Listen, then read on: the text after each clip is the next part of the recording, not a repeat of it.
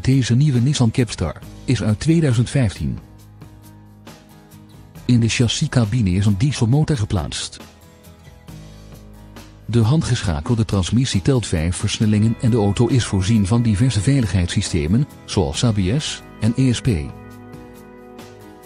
Tevens beschikt deze Nissan over een axiaal verstelbaar stuur en centrale deurvergrendeling met afstandsbediening. Elektrisch bedienbare ramen en een boordcomputer vullen de uitgebreide lijst van opties en accessoires aan. Als u nader wilt kennismaken met deze auto, komt u dan gerust vrijblijvend langs voor een proefrit.